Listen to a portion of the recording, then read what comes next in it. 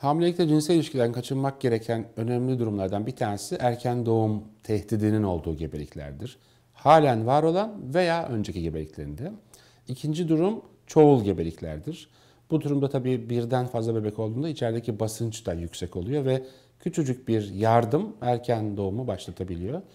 Kanama olduğu durumlarda mutlaka uzak durmak lazım. Çünkü kanamanın sebebi ve tedavisi o problem çözülünceye kadar cinsel hayatta devam etmemek lazım.